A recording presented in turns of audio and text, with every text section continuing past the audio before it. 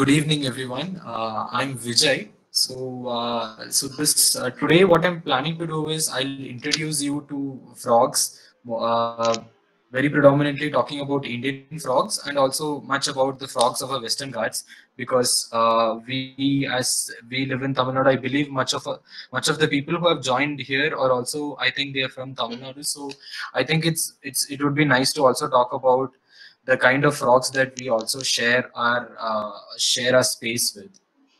So it's very nice to connect with you all on this auspicious day. Uh, so what I'm first trying to uh, do is I'm going to show you these two pictures. The one on the left uh, shows you a new uh, a news that she says that they found a rare yellow frog uh, was spotted. recently, during the monsoons, um, a month back, this was the news in every other newspapers. Like they showed large congregations of these yellow frogs, and they tend to tell that some also try to quote it as some uh, alien species that had come uh, and all that. So every year this happens, every monsoon this happens. This is not a very rare phenomena as such. This is one of the most common frogs in India, the one that you see in the left. It's called as an Indian bullfrog. So uh, it, it was predominantly hunted for its meat uh, it uh, they uh, even they use it as a delicacy even in some parts of goa. They still consume this frog meat.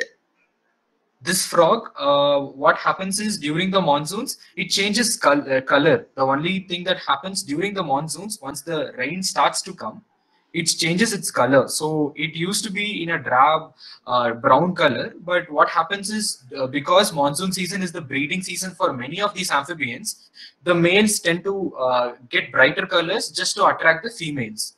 So it is that same situation that every year when such phenomena happens, the news agencies tend to report it in a manner that uh, it's some rare phenomena that's happening. This actually shows how we are alienated from our outer world and the other picture on the right side is a, is, a very funny picture. A friend of mine just uh, sent this through Instagram showing uh, it, it also has this did you know fancy uh, quote saying that this is an horror frog and it seemed to also attack for humans and all that but uh, what has happened in the mainstream media is that frogs have have also already been terrorized in many other ways so the frog that here doesn't have although there is a frog that's called horror frog if you go google search for horror frog of course you will get a species but it doesn't have hairs like this. This is some photoshopped version of a toad.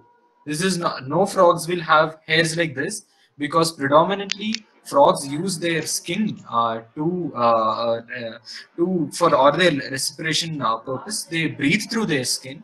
So they cannot afford to have such such hairy uh, skin and the problem is people uh, this is this is what is the current state of our understanding about frogs.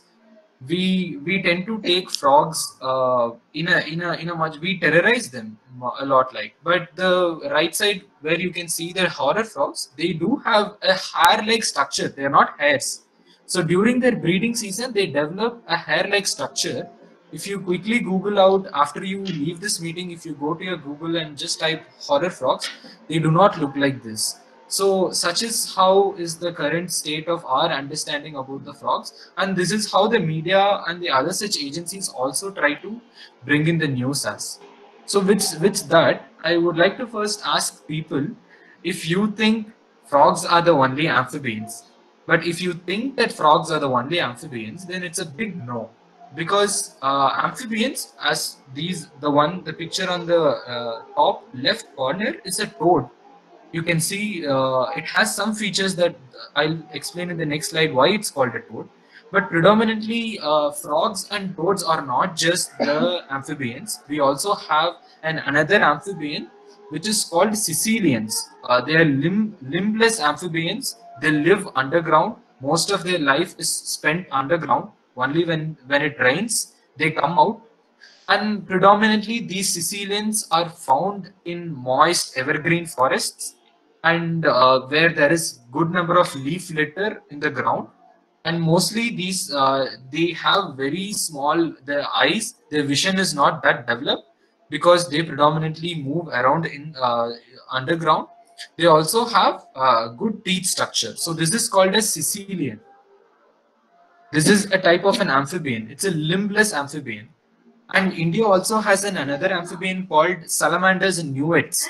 The right corner picture is of a newt that's found. It's also found in so India is a very special country which has three of these amphibians within within the country. So mostly uh, these caecilians, uh, uh, these uh, salamanders, they're also found in other parts of the world. They're species rich in other parts of the world, but in India we only have two such species.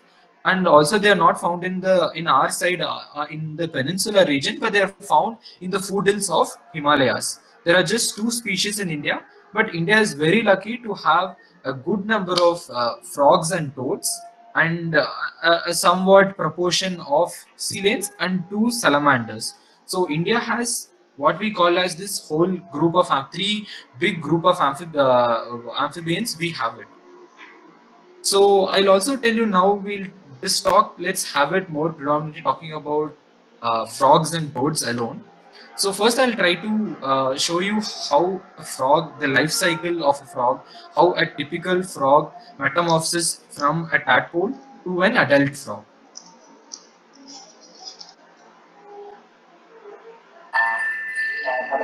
Here is a frog that's vocalizing and it's attracting the female. And once the female says okay, they go on to have amplexus, which is mating. And once they mate, the female releases the eggs and the male spreads its sperm on top of the eggs and fertilizes the eggs. So the eggs slowly develop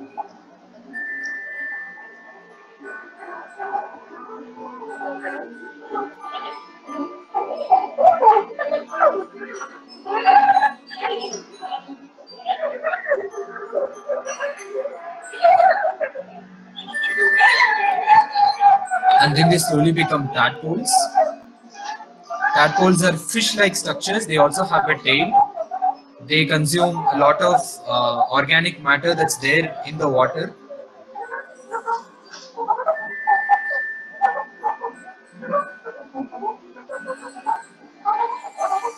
Slowly they get their hind limbs and their fore limbs. And slowly their tail of the tail size also reduces slowly.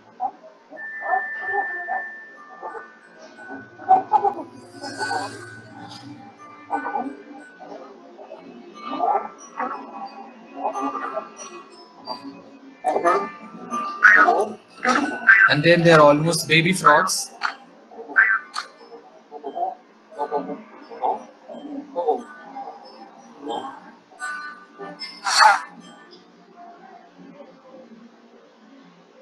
And, and the life cycle continues. So uh, the reason why I've given the title as a typical metamorphosis is that there are some frogs that do not follow this metamorphosis. I'll also in the over the time in during the presentation i'll also tell you some frogs which also have a different kind of a metamorphosis. So the first difference if you wanted to understand what are frogs and what are toads these are the two main differences. The first is that in the left side if you see i've put some small clutches of eggs. So frogs lay their eggs in the such clutches.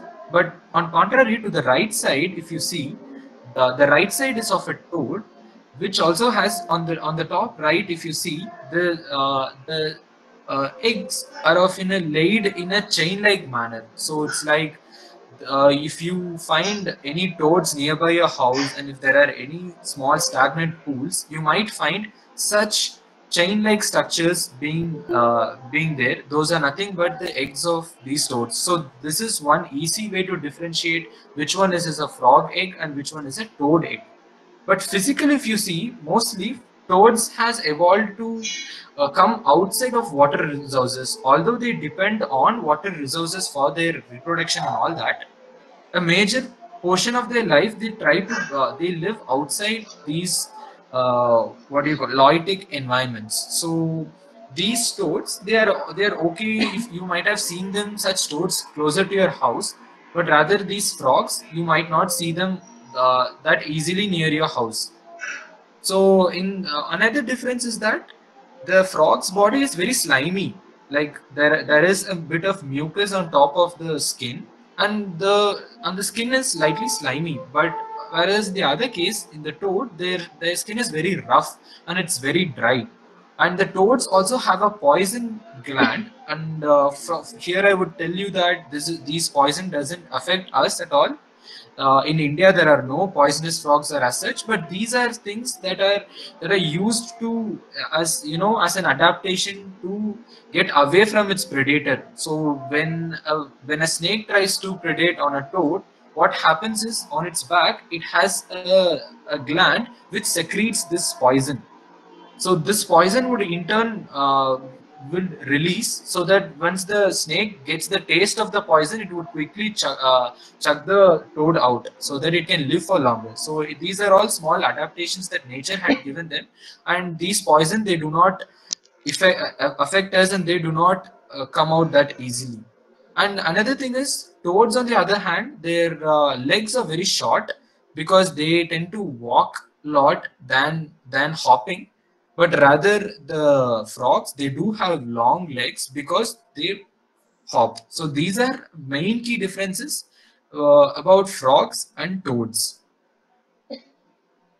And uh, i think most of the listeners here are are also from tamil nadu and i believe that they also understand tamil so uh, the, these are the four terms that i would uh, would like to bring into your attention the first one talking about the tavalai means the frog Terai means the toad. And Sirukan Kalili is a very nice, beautiful word for the caecilian, the legless amphibian that I told you about, which looks like a small uh, snake. That is called in Tamil as Sirukan Kalili. And, and the last one is Talai Piratai, which is called tadpoles. So uh, what happens is a lot of us, we tend to use this word uh, Korati Kuti for uh, tadpoles, which is a very derogatory term to use. So I would like to uh, appeal to you that if you if you find any tadpoles, try to use this word talai piratai than using uh, using the other word. And also try to say if you find a toad near your house, please use the term tere rather than using a, a very common term tavalai. Though tavalai can include both frogs and toads, but then uh, we also have a separate term to uh, indicate toads. So a lot of time people would ask, why should we care about frogs at all? So uh, the the question is right. The answer is right there in your left side. If you see the picture where this uh, uh, where this fellow is eating, and there are a whole lot of insects in his house, which brings in that the importance of frogs in our ecosystem. So in within our ecosystem, frogs are predominantly have acted as uh, prey for uh, snakes and several other, uh, say for example, birds and several other organisms. So it is all intricately connected, not one species. Every species is connected through this food web. And when I when I talk to you about their importance, they're also very important and they give us a lot of ecosystem services.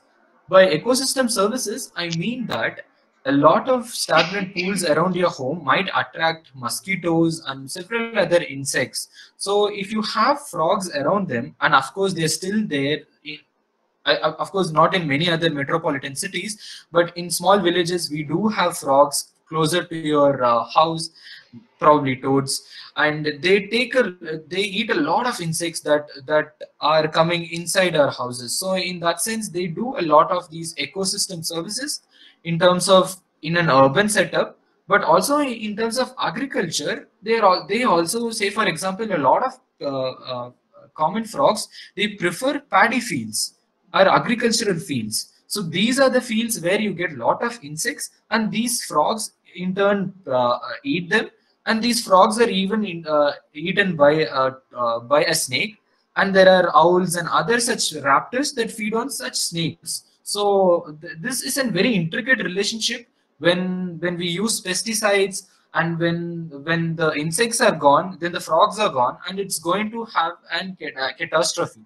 So frogs, in that sense, they're very important, and also in during these uh, difficult times during this COVID situation, you would realize how medical research is important And mind you, 10% of Nobel Prizes on medicine have come from frogs. The first antibiotics had come from research on frog skins. And people and many scientists still believe that frogs can help us in there are some there are many such research that's happening in in the medical research on using frogs the secretions they get they get from their skin they're still trying to figure out how it can be useful for medicine. In future we can have when such epidemics come out i think we need frogs at least for such uh, purposes for us to tackle such diseases and another thing is that uh, what has happened is like uh, what uh, Harini had also told about the scientist E.O. Wilson. E.O. Wilson also told another thing saying that only 5% of our biodiversity has been documented. Almost 95% of the Earth's biodiversity has not yet been uh, uh, described scientifically described. So from 2001, almost 150 new species are being described every day throughout the world and even in India, almost 150 species have been described from 2000. So we, we haven't yet reached the asymptote and we are still uh, discovering new species, which also shows that there are still a lot more of frogs in our forests, which we haven't yet described it at all. So, uh, where are frogs found? Frog, frogs are found almost in every other continent. Here, Antarctica is not shown because there is a new record. Uh, just two months earlier, there was a frog fossil that was found in Antarctica as well.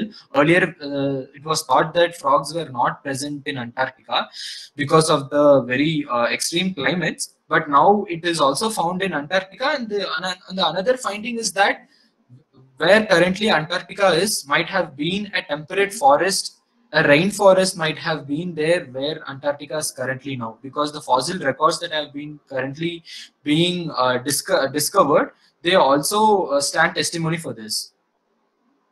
So let's see how the frogs, the diversity of frogs around the world. We have different diversities of frogs in the world. So far, we have 7,240 species of frogs alone. And if you see the pictures that I've given, this is just uh, a, a, sample uh, of, of the diversity that we have here. Like from the left, if you see, we have a glass frog where you can see all its organs that's, that, that's there inside. And uh, you have the gastric brooding frog where the female takes in the tadpole within its stomach and then this the these tadpoles develop into small froglets and then they come out of the frog's mouth and all this time the female doesn't eat anything so that's gastric brooding frog, the, the person who's showing a, a paper clip, that's gastric brooding frog. And down you can see wood frogs. They go into a dormancy state. In Alaska, they are found, and when during winters, when there is extreme climates, these frogs go into a type of a dormancy. And once the winter is gone and the spring is there, they are again back into life. So they have very interesting uh, life histories. And uh, you have this poison dart frogs. Many of you might have known. These are poisonous frogs. They are found in south america uh, and uh, and around the amazon rainforests. And you have the darwin's frog which broods its uh, tadpoles in its vocal sac. And uh, down you have the common reed frog a very colorful frog. And you have the suriname toad where it has small holes on its back and the tadpoles and the eggs are laid on the holes. Uh, hello. Yeah. Yeah, Vijay, sorry for the interruption. Uh, can you please hide that notification bars because they couldn't read the names of frogs. Okay, yeah. Thank you. Thank you so much. Yeah. And you have Suriname toad. Uh, on its back, you have these holes where the small eggs are being dropped and the tadpoles emerge from them. And then you have the horned frogs, which have small horn-like structure above their eyes. So this is just a small sample of what the whole diversity is. But there are very different frogs with weird life histories as well. So not just frogs also use sounds to communicate uh, much and they also have this thing below their throat called as vocal sacs. They can be enlarged and they push in air through their throat to uh, create sounds through which they communicate to uh, to attract the female to they have they they they signal for many such reasons. They communicate with a similar species of frog. They they tend to attract a female, and there are many such interactions within frogs. So predominantly they use their sound, and for this they they, they use their vocal sac, and you can see you see the how the different varieties of vocal sacs uh, vocal sacs also. So I'm going to play a quick video that's been circulated recently in the social media where someone used these sounds from different frogs and made a voice, uh, made a music out of it.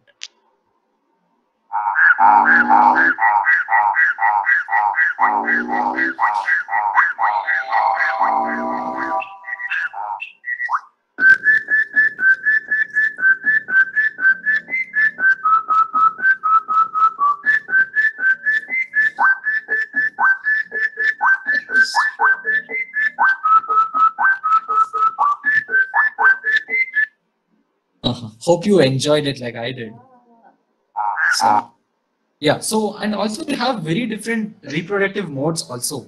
So uh, in these pictures, you have seen different reproductive modes. Some lay their eggs in the ground, some lay egg, their eggs in leaves, some lay their eggs high above the tree, and some lay below the water, and some stitch their leaves and they lay their eggs within that. Some form foams within which they lay their eggs and slowly when the foam gets dried up the the tat, the eggs the tadpoles that are grown they fall directly uh, down into the water.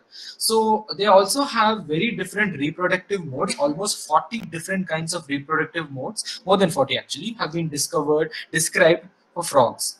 So let's come to the Indian scene. The Indian uh, amphibians, there are more than 40 described species till date and almost 85% of them are endemic, which means that they are not found anywhere outside India. They are all uh, found only in India.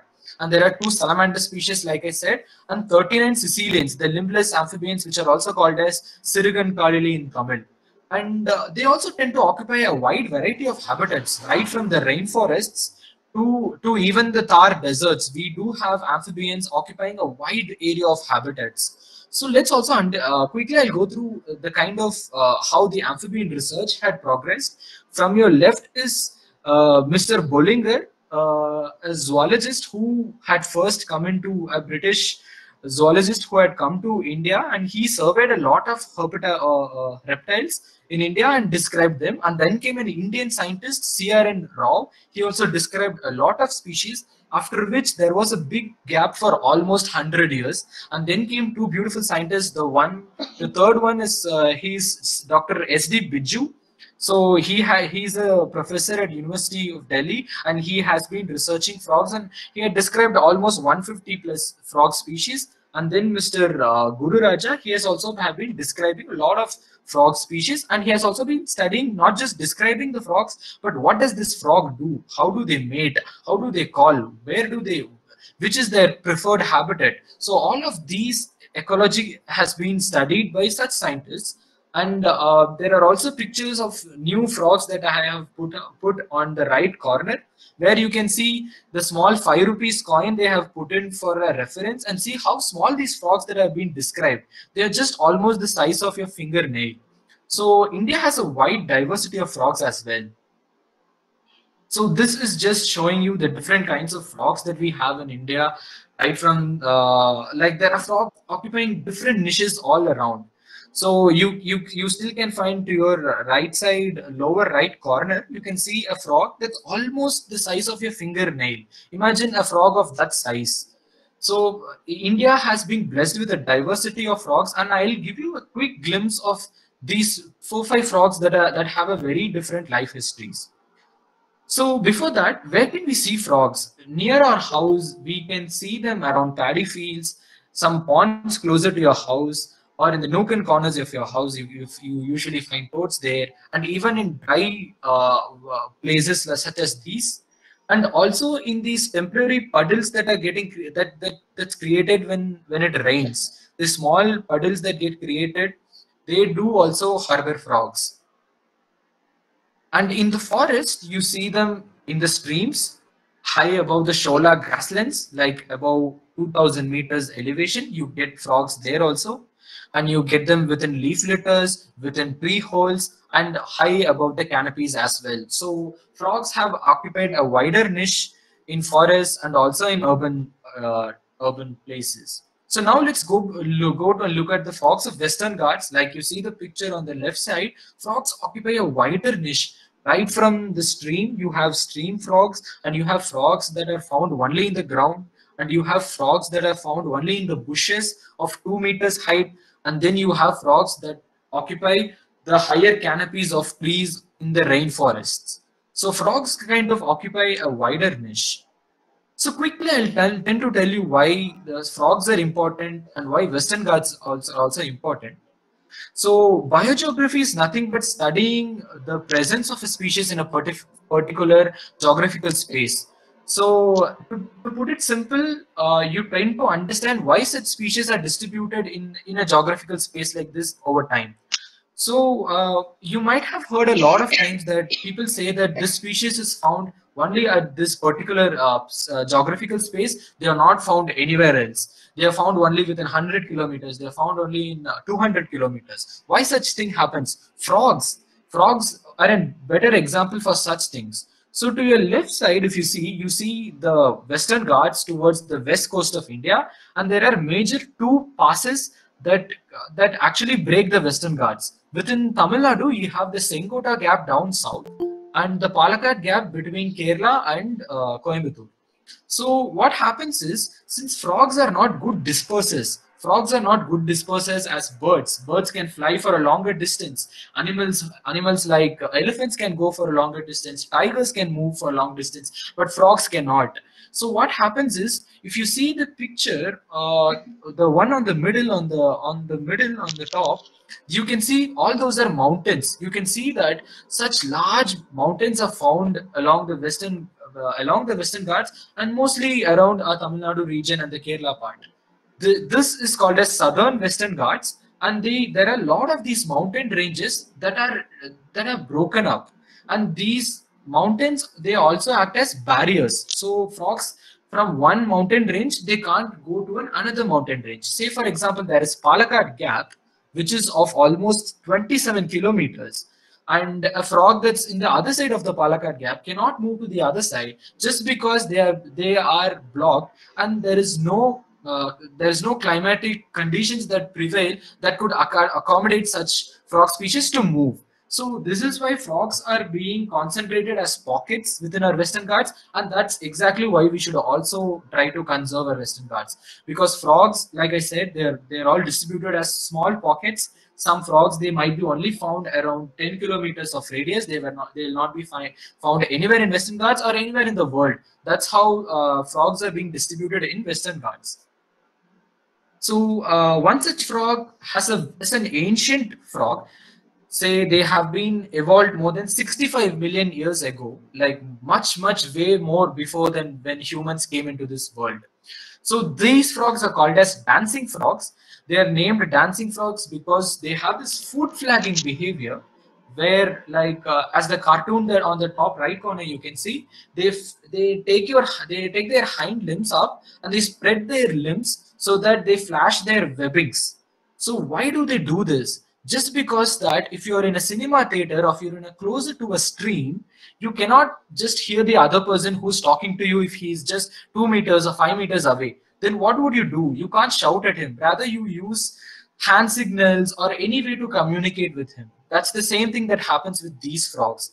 They cannot communicate because the stream in itself has a lot of noise. There are a lot of noise that is being spread out so what happens is these, these frogs have now evolved having a different kind of uh, communication where they flash off their legs. These frogs are also endemic to Western Ghats. They're found in fast flowing and slow flowing streams in our forests. And there are almost 24 species of such frogs within our Western Ghats, right from Maharashtra to Tamil Nadu. So I'll quickly show you a video of how this thing happens.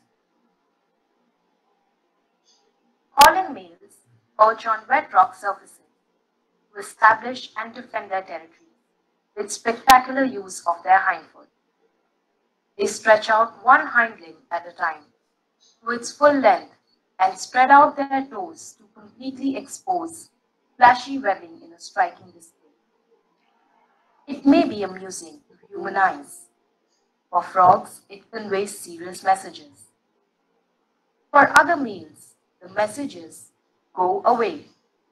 And for females, the message is, come to me. In case an intruding male is not intimidated, the defender of territory kicks its rival like a kickboxer. Okay. So, like the video says, they use this communication for two ways. Eh, Still, we haven't, the scientists haven't found out for what exact purpose that they do this flagging behavior. Is it either to, uh, uh, uh, you know, show off the invading male or to attract the female? But both can be true in this case. And let's talk about the other interesting frogs. They are called as bush frogs. They are called as Raorchestes species. They are quite rich in diversity. Almost around 40 species are found in Western Ghats. Like I said, they kind of uh, they are called bush frogs because they are found around two meters of height from the forest floor. They're mostly found in evergreen forests and moist evergreen forests and rainforests. And uh, here I would try to would like to bring in your attention to the frog that's called Raorchestes chalazodes, which is there on the left side of the picture. So this frog uh, uh, stays within these bamboo clumps that is found along the streams of Western Ghats. So what it does is, it has a very interesting uh, reproduction uh, mode. What it does is, it calls and it mates, and what happens is, if you see, if you if you first see the left side of the picture, the frog enters, the female enters through a small slit that's there in the bamboo. These frogs are very small, and these slits are also very small. These slits may be formed by any natural uh, condition, and they tend to enter into the slits and then they go into the bamboo and they lay their eggs. And here, like I told you, these frogs, these eggs, they do not go through the typical metamorphosis. Rather, they directly develop. They do not have a tadpole stage at all. Bush frogs do not have a tadpole stage at all. They do have direct development. And from the eggs, they directly develop into small froglets. So you can also see in the right side lower bottom, there is a picture where they uh, bought in an endoscopy camera and they had viewed the uh, frog and it was sitting inside the bamboo clump, uh, bamboo with its eggs. So this is this is one such uh, way of how frogs have adapted to live in various environments. Here they don't need water at all, but these frogs they are only found in uh, about thousand meters in elevation where there are good moist evergreen forests. So here frogs have totally uh, come out of the typical metamorphosis where you lay your eggs in the uh, somewhere closer to the water body and your tadpoles uh, uh, behave like fishes and then they evolve into so that stage is actually taken off and they directly become small froglets. And another ancient lineage of frogs are called as leaping frogs. They're called the leaping frogs because they leap for a greater distance, almost uh, 30 times their size. They can al al almost jump for almost like seven, eight, uh, sorry, seven, eight meters in a, in one jump. They're also found very closer to the streams. They tend to stick to the walls of rocks. And uh, one such thing is the in the middle lower, you can see the picture where you can also see see the eggs. And this is a male frog that is being god for the of, the for the eggs and it's also calling. And uh, towards your right, right rightmost corner you see the tadpole which is also which also doesn't have a very similar typical tadpole uh, life history. Rather they stick to the walls. They stick to the walls of the rocks and they tend to eat all the small algae and organic matter that's found on the uh, rocks rather than being inside the water so these frogs are also ancient lineage of frogs that evolved almost 65 million of million years ago. And next interesting group of frogs are called as gliding frogs. They are called gliding frogs because they glide from one place to the other because their uh, both their uh, legs and their fingers they do have webbings that are fully covered. So it's just like you open your legs and hands and you parachute to the next tree. So these frogs they live on top canopies almost 20 meters above above the ground. All their life they live on top of the canopies and they only come down uh, just for the mating purpose. Most of the frogs, other than the bush frogs, they depend upon water sources for reproduction. Only bush frogs have escaped the typical metamorphosis and they have a direct development. Rather, these frogs, even though they are also found in higher uh, reaches of the trees, they still have to come down for their reproduction. And these frogs also have a very different way of uh, reproduction. I'll show you in this video.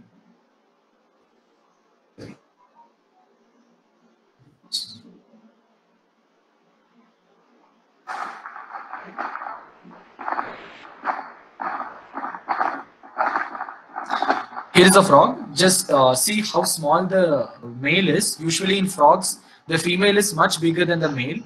Here the male is uh, is in amplis amplexus.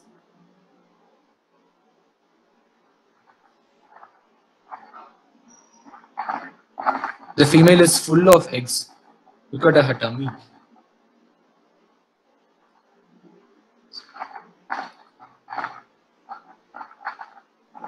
So now what happens is the female is lay laying her eggs and she is also gradually making this froth so that the eggs stick onto this and the male would also release its sperms so that it fertilizes. You can also see the small uh, eggs within the froth. And these, they do it right above a flowing stream. So later, after 20, 30 days, this, this froth will dry up. So then the, uh, so then the tadpoles would directly drop into the water. So then the tadpole then becomes a froglet. And another another interesting species that was found very recently in 2003 was this purple frog. A lot of uh, it uh, it also gained a lot of media attention just because that these frogs are Gondwanan relics. These frogs have seen a uh, lot of extinctions. These frogs have have uh, closest related relation to the to this frog is found in um, in Seychelles so it has been hypothesized that when we say that India has broken from the Gondwanan land, such species are living examples of such phenomena that we have uh, we have un uh, unearthed with our science. But such species act as the living examples. So this is a frog that lives only in underground. It doesn't come out uh, at all. It only comes out for 15 days or so during the peak monsoon, not not the peak monsoon, the initial monsoon period, just when this uh, when the rain starts, and they come out from the ground. They call, they mate, and they lay their eggs closer to a stream, and then they go back into the soil again. And then they are not seen for the next uh, till then they are not seen uh, at all. So almost they just come out only for their breeding, and then they go off into the uh, in, into the ground. I have an another video to quickly show you what happened. Here is how the frog is coming out from the ground. These frogs are also found in Western Ghats. Out its love call while still underground. It must be the shyest suitor animal.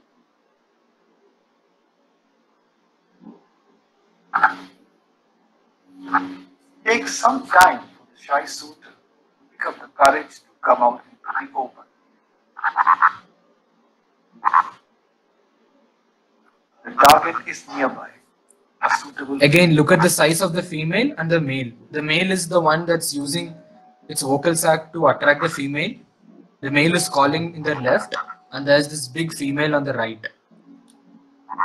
like in all good romantic stories, here is the happy ending to all the calling effort. Male and female meet and mate. Almost on top of a king size bed.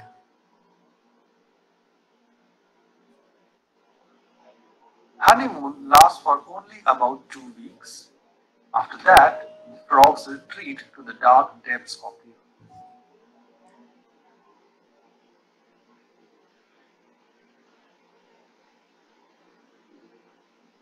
earth. Okay. So yeah, so like I said, these frogs are also found only in Western Ghats. They're also found in pockets. They're not widely distributed within the Western Ghats. They're only found in the southern Western Ghats. And uh, so what happens is, well, if you ask me why Western Ghats important for frogs, it's only that 13% of Western Ghats is protected as national parks, as wildlife sanctuaries, or whatsoever uh, under our Wildlife Protection Act. Only 13% of the Ghats is protected, uh, uh, after which all these uh, lands where they're all unprotected, there uh, there are non-protected areas. That's where most of the frogs are also there. So many threatened frog species are not just found within the so-called national parks and tiger reserves as such. They're also distributed outside such places. So it's also very important to understand uh, where even without uh, such some frog species are not found in protected areas at all and they are found in non-protected areas predominantly. So how do you protect such frogs? When when it's not protected, there are a lot of development that's going to come. People might use it for agriculture purpose. There's kind of plantations coming in. How are you going to save these frogs then? So, uh, in another sense, though that Western Ghats have been seeing a lot of mining and there are a lot of infrastructural developments that's happening, we still tend to discover new species. Every year, at least two, three new frog species has been discovered in India. So, which also says that we have not yet found all the species that's there in our Western Ghats, before which in itself we are we, we are losing its habitat. So the situation might be that just before we even before we discover a frog species, it might have gone extinct already. So that's the kind of situation that's there currently in our Western Ghats. And a lot of these frogs, the ecology of such frogs, the natural history of frogs, like how do they mate, what do they do, how do they attract the female, what kind of um, preferred habitat do they have, all of such things have not been uh, studied at all.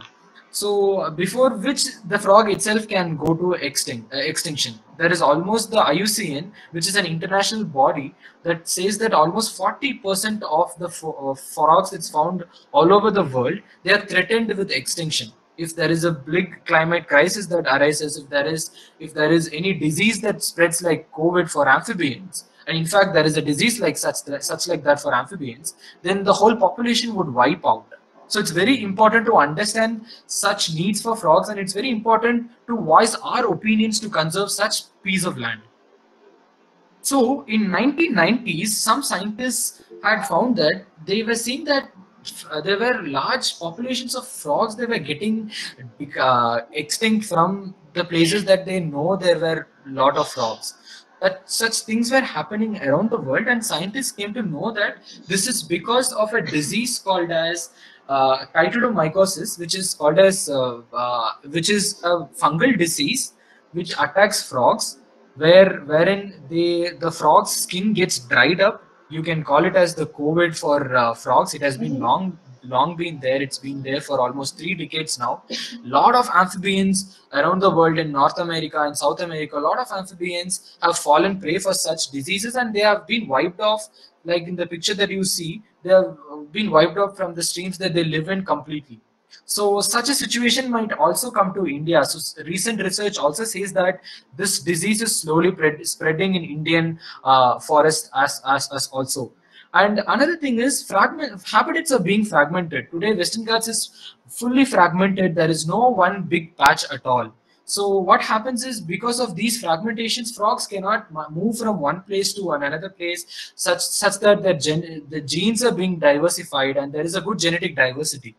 So such things are have been an hindrance, and there is uh, there is an inherent habitat loss that occurs due to fragmentation, and there are new dam constructions that come up, uh, which also take off large pieces of forest land. And there is also this introduction of invasive species that do not belong to our uh, country. Say for species such as lantana, parthenium, they do not belong to our country. They tend to invade. These are exotic species that grow everywhere in the forest, and they all they are not good habitats for our own species. And there are a lot of monoculture plantations like tea, uh, like teak plantations, tea plantations. They are all monoculture plantations which are not very great frog friendly habitats. And, and then there are other uh, problems such as linear intrusions, like roads passing through forests, like pipelines being put through forests, like uh, uh, electric poles that have been put inside forests. These are all uh, are distractions that's happening for the frogs' habitat. And in an urban setup, in an agricultural setup, there are pesticides which cause such malformations in frogs. Like you can see the top two frog pictures where they have deformed uh, legs, and you might there are a lot of cases of such inst- instances where frogs they don't have one eyes, or might they might have an, uh, another uh, third eye, and there are another leg. All of such deformations are forming because of the uh, pesticides that's been there within the paddy fields or agriculture fields that we that have been that we have been using. So let's also try to quickly see the neighborhood frogs. I'm going to also play their sound. So in case these are all frogs that you might find around your houses, be it you live live in Chennai or you, you live in Tirunelveli or you live in Coimbatore, you might probably see all these frog frogs mostly during the monsoon season. So I'll quickly play each of these frogs calls. So probably later, probably even during now it's monsoon season. Now it's the mating uh, season for many of the frogs. So you can identify them. This is called you find them in wells, stagnant pools. They have an upward facing eyes. And uh, the next call is of uh, cricket frogs. Oops.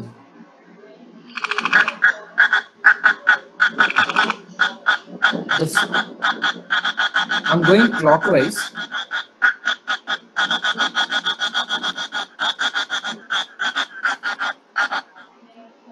So the next frog I'm going to play is called as Microhyla rubra, which are called narrow mouth frogs. They are very tiny frogs. Again, you you can see them if you uh, have if you watch out carefully during the monsoon season.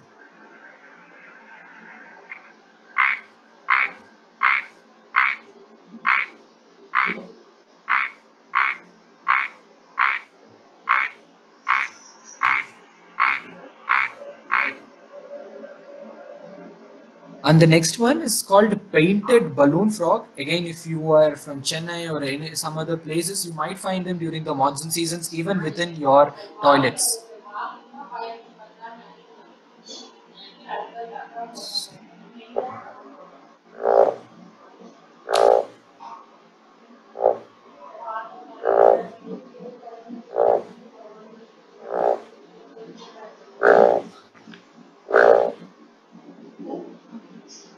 This is being in uh, uh, the next frog towards the left corner is called as the bullfrog that I told you, which will have a very drab brown color during the non-breeding season and would turn into yellow during the breeding season. So this is how it calls.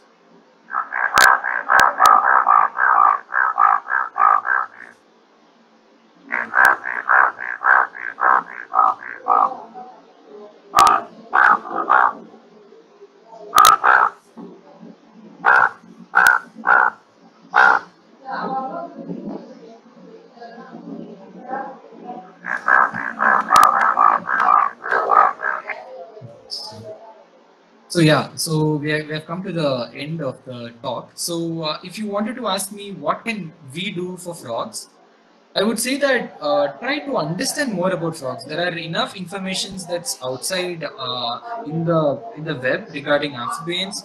Uh, so try to understand frogs, do talk about them, draw them. If your kid is drawing something, ask them ask them ask them to draw a frog, and also educate the children about wildlife. Because the problem is that uh, the the new generation kids there's no connection between the outer world.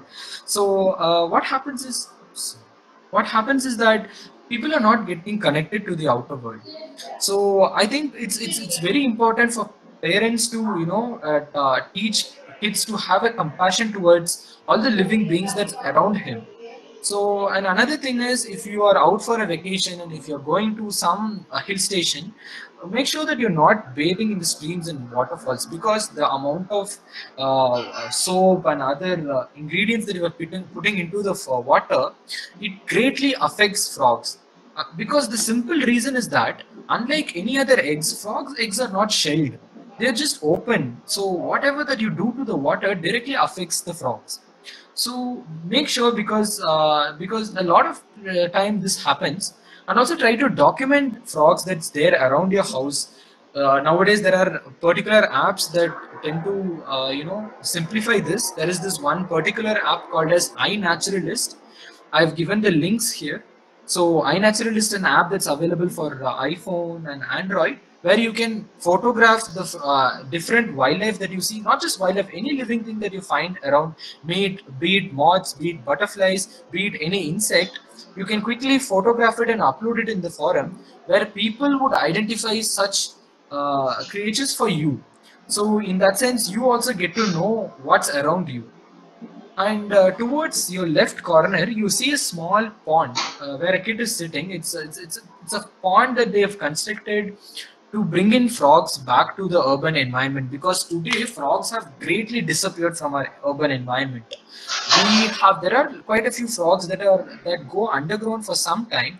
They estivate for some time. But what happens is um, uh, we tend to you know uh, keep our surroundings clean and all that. We cement our grounds and all that. So there are no enough habitats for frogs around us so if you are someone who have a little bit of space in your house and if you can afford to have a small uh, space for frogs, try keeping a small bucket full of water and not just a cemented uh, space where you can have water in it and in two years or something frogs will definitely come back to such spaces. And this has been uh, been followed mostly in uh, the foreign countries and they have been very successful with it. So they call it as frog friendly ponds there are enough videos and information that's available outside uh, in the internet. So if you're someone who are who's interested to bring fro frogs back to our uh, houses and within our urban environment please uh, try to reach out to uh, such websites.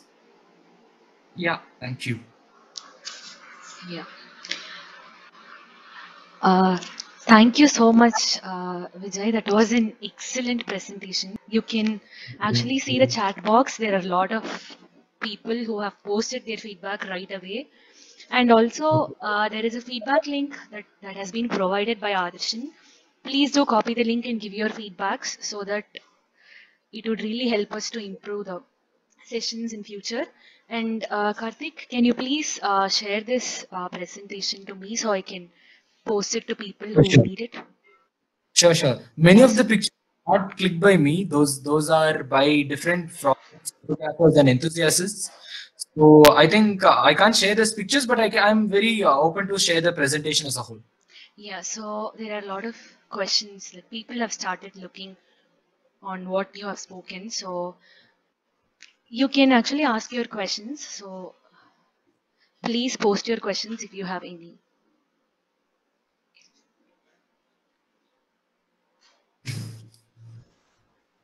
Yeah, so You can see a question down. Uh, uh, Ram has asked this question: Do all frogs require water to reproduce? Mostly, mostly, many of the frogs need water to reproduce. Uh, the only frogs that do not need water to reproduce in India are these bush frogs. They're called this Raorchestes species. Like they said, they're independent of water bodies. They can reproduce independent of water because they can place their eggs. They do bury their eggs. They place their eggs on top of leaves so that they directly develop into small froglets. So where where where they totally eliminate the tadpole uh, uh, stage.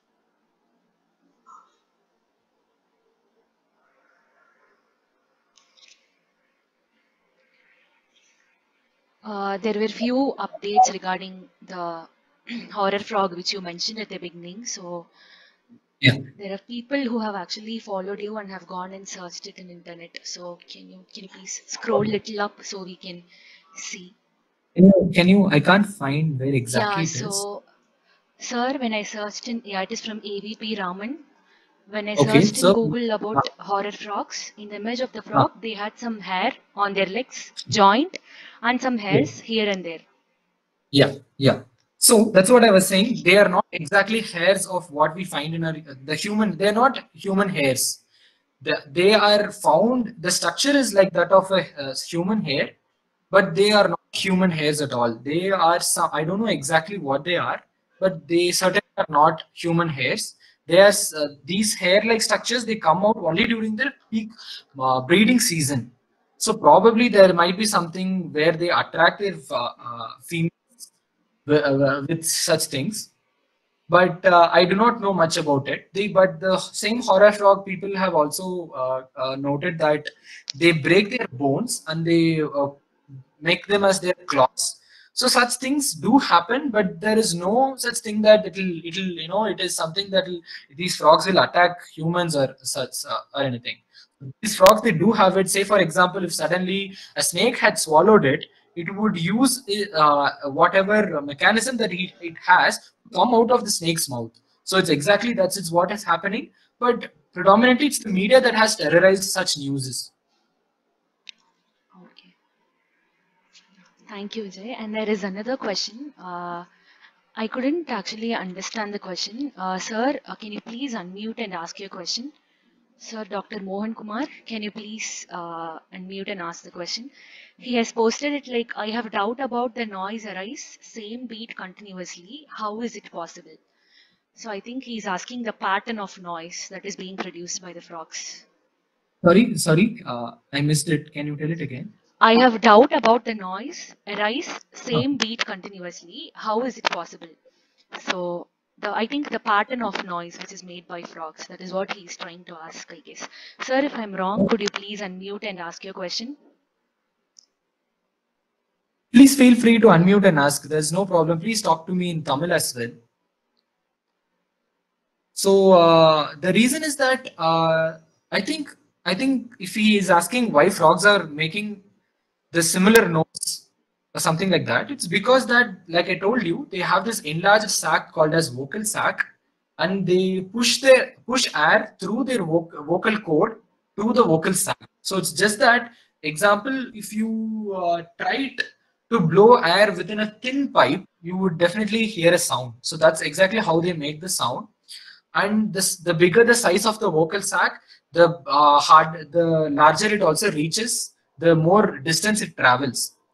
So uh, uh, if you are asking me how it, it, it is able to, that's how it is. If you are asking me how it uh, continuously makes that sound, that's how the frogs make the sound. I do not have much answers for that. Yeah. Uh, so the next question is, is there any books to help in identification of rocks other than the one by Mr. Guru Raja? Oh, uh, the other than the one by Guru Raja, uh, there is a book that's called as the Book of Indian Reptiles and Amphibians. Again, they are not well documented. But uh, other than Guru Raja, there aren't much resources that's available. Uh, certainly, in a year or two, I think we will get a good field guide like how we have for uh, birds, we have butterflies, and we have moths. I think certainly we will have a, a, a field guide but for now, I think there are good resources online. So there is this website called as www.indianamphibians.org. Uh, so it's a website where you can go and search for frog pictures and uh, you, you get to know more about them. So I think mostly the information is spread all across in the web. There is no one source where you can quickly uh, go and uh, refer to. Yeah. So uh, Ms. Kanmani has a very interesting question. Mom, can you please unmute and ask the question by yourself? So please feel free to unmute and ask your questions because we might miss out few questions when it is posted in the chat box. Hello. Hi. No, it is my it is me. She hasn't unmuted herself again. Okay, so no problem. She has anyway put the question Yeah, here. yeah, yeah. Let So, me.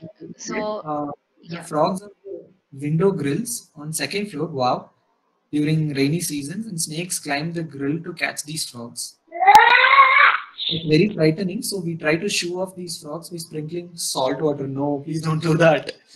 I feel so sorry about it now. What do we think we should be doing to shoo off the front from the window grill? Uh, so, uh, yeah, frog, uh, Ka- Vijay, one second. She has unmuted. So, mom, Yeah. yeah, mom. Hi. Yeah, hi. Uh, that was my question. Maybe I've, um, uh, there's a typo in the last line. I just want to know how do we and shoo off these uh, these frogs without uh, you know sprinkling salt water or something. Okay, first I would say don't shoo them off, please. don't shoo them off. Uh, a lot of us, we are living in this, like, even in Bangalore, where currently I live in, there used to be a lot of frogs. But what has happened is that uh, because we, like I said, we have cemented our floors, we have made our house so secure that there is no space for these urban wildlife at all. So I think I think of course it's a it's a concern that uh, snakes are entering the house and all that. But in in such cases, uh, you can catch the frogs if you're okay to catch them, and if you're afraid, uh, you can you can you can. I think I I don't uh, have an answer for it. I don't know how to shoo them off because what happens is these are all explosive breeders. During monsoon, you would have these frogs only during monsoons, during the rainy season. So that's the time when they have to breed. So they they tend to explore all the possibilities they have to find a mate. So what has happened is they do not have their habitat. So uh, the frog, which you say, which is there in the second floor in your uh, grill, it should not be there in the first place. It should have been in some tree uh, that's equivalent to your second floor. But such habitats are gone. So I think uh, I think it's uh, I don't know. I don't have an answer for it, but it's very important to have such frogs around us. So if you can catch the frogs and uh, if you can take them off from your house, that will be great. Uh, thank you, thank you sir for the answer. Actually, we live in um, place, it's a government quarter, so we have lots, lots of trees. That's why these frogs tend to come over the grill, and we have snakes climbing Okay. all the way up, and that's pretty frightening. Uh, so we have had cases this uh, this time during March uh, where there, were snakes twice on the grill. That's when we started. We were asked to shoo them off by sprinkling salt water. But as I said, I feel very sorry for it now. Maybe problem. we'll try to do something else uh, Yeah. rather than shooting them off. Yeah, Yeah, yeah. So what snake did you get? Do you know what kind of snake did you get? Yeah, it was cobra. Oh, cobra. Okay. Yeah, we, it was late night, maybe around 9:30, Mm-hmm. and uh, we we could not figure out why was the snake on the grill. Only the next day, we, it took almost one hour for us to send the snake away. I mean, shoo off the snake. Then Yeah. the next day, we found out there were all these frogs which which were jumping pretty high up to second floor, No, and maybe the snake could have been there to catch those frogs. That Yeah. is our assumption. Yeah, yeah, yeah. Yeah, And that probably could be true as well. The, this frog could be this common tree frog. So uh, these to climb, uh, like even like you said, second floor, third floor, also they found. They, they, they might have also been seen all that. But I do not exactly know uh, how you can, you know, keep them off from your house. But if you're okay to catch them or to, you know, wear a plastic uh, your uh, hand, and if you're if you're very frightened to catch the fish, wear a plastic and then quickly take it off and put it. Maybe maybe we'll try that next time. But actually speaking, I have always had an aversion for frogs. But your Yes. presentation today has brought a liking towards frogs. Thank you Yes, so much. believe me, even I was in the same uh, side like 15 years back. Even I do like frogs. But later, when I was also introduced by someone like this, I also began knowing about frogs and the kind of diversity that we have in India. It's not just that frogs we usually find closer to our house, the toad, the common Indian toad. That's not the only frog that we have. So we all we almost have 400 different species. Imagine of different colors, their eye patterns and their webbings, their color, they're all very different and, and they all are having very interesting life histories as well. So, so same same goes to me as well. And uh, thanks for that. Thank you. Thank you so much. Uh, yeah, so there is another question from Ramanarayanan. So, Yeah. is it only during breeding season the size of male and female differs, or else throughout the year? Any other pointers to differentiate male and female apart from their size? Oh, okay. So males usually they are smaller than females. Uh, so that answers the first question that males are always smaller, uh, irrespective of breeding season or non-breeding season. Uh, males are always smaller than the females. And uh, uh, differentiating male and female, lot of these frogs are not sex- sexually dimorphic. So you, it's very difficult to uh, differentiate male and female. Although in closer look, these frogs they do have nuptial pad. This this pad develops the uh, because it has to the male frog has to have a good grasp of the female. Like in the video that you might have seen, the the smaller male frog on top of the female has to have a good grip. So during the breeding season, such frogs develop this pad called as nuptial pad in their uh, uh, front uh, front fingers. So presence of nuptial pad can be a good indicator to differentiate male and female. but other than that it's very difficult to uh, and and one more thing they do have males only males have vocal sac so in case if a frog is calling then you can be sure that it's a male frog so i think these are the main i mean generally these are the pointers to differentiate uh, male and female but generally uh, other than that it's very difficult to differentiate So, uh, I have a question. Uh, so, Yeah. is there any pheromones associated with frogs and their reproduction? Uh, so, uh, this is also an active field of research now in frogs. Uh, not pheromones as such, but the vocal sac that I told you about, uh, though they also use it to uh, communicate, they also use it for chemical signaling. So, some frogs, so in Indian frogs, it has not been explored much. Uh, but uh, there is this is an active field of research that's going on in terms of frogs and there is some kind of a chemical signaling with these vocal sacs. Oh, okay, okay, okay. Thank you so much. yeah. Yeah. So, is there any other question? Please mute yourself or post it in the chat box. I would love to, Yeah, yeah, yeah, I, I would love to have your Insta handle uh, if it's okay with it. Oh, sure. Uh, I am not sure. It's called Macacus silenus. Yeah, you can And directly can you please write it? Can you write it on the message? That will be easier. Okay, sure. Thank you. No problem. Thanks, Harini and uh, Karthick for a lovely uh, webinar. It was very interesting, informative, and inspiring. Thank you, thank you so much, mom. Thank you. Mom, he has posted the ID, so yeah. Yeah, I, I saw. Thank you so much. Thank you, mom. Thank you. Uh, Vijay, there is another question. So the voice sacs look so thin as very thin plastic. When they are in forests near some pricky plants, do they tear their voice sacs? Uh, no, actually, so uh, that hasn't even I have had such doubts, but actually there aren't much uh, pricky uh, plants uh, in the forest, and even if they do, they keep away from it when they are calling. So a lot of time, what happens is they do also fight a lot. These when there is two interactions between male frogs, two male frogs do interact and they fight because uh, it's about uh, because anyway the better male gets a chance to mate with the female.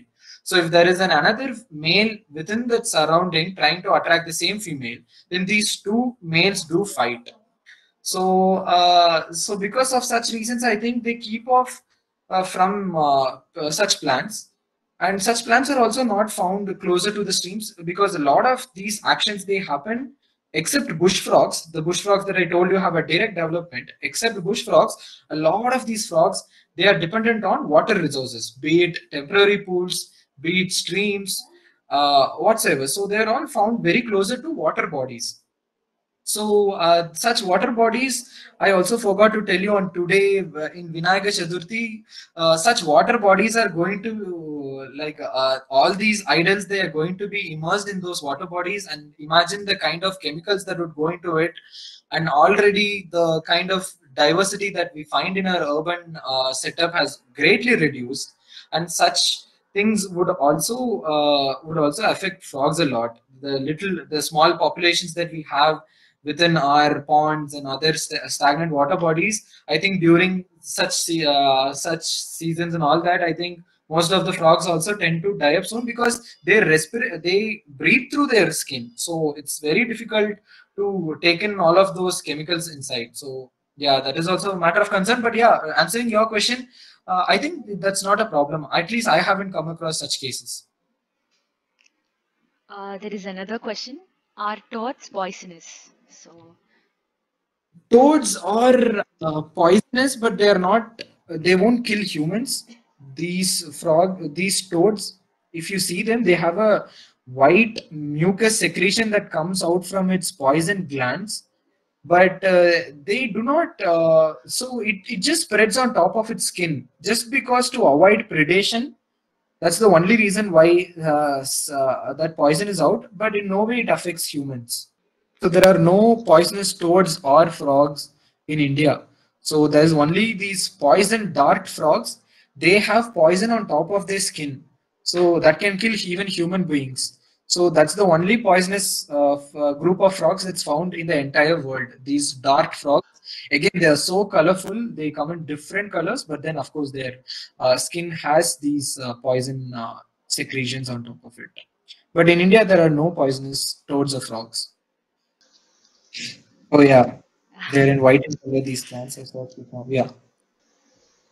Thanks. It's just that we we have to like you know if we develop this habit of looking at our outer world closely, I think we can uh, we can appreciate the kind of life form that surrounds us, right from the gecko that's there in your house. Of course, a lot of us have certain uh, even for frogs, even for lizards, we do. But I think it's very important to break that mental uh, thing and just go very closer to observe. Probably that that is where uh, that is where there are a lot of answers. Uh, Vijay, there is this you another question. you Yeah. don't give itchiness once we catch them.